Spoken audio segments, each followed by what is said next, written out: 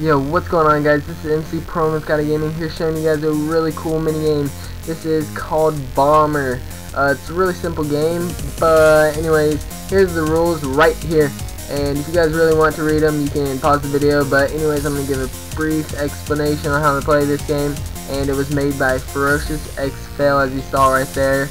Uh, there's a down or there's a link in the description to his channel, so make sure you guys go uh, check him out.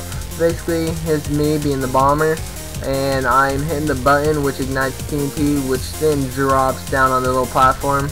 Uh, color coded green press the green button it about fell on him. Actually did fall on him but he got away from it. But as you see I'm sure you get what's going on right now. Uh, it's pretty easy but you can either be the bomber or you can be a retarded puppet that jumps and dies.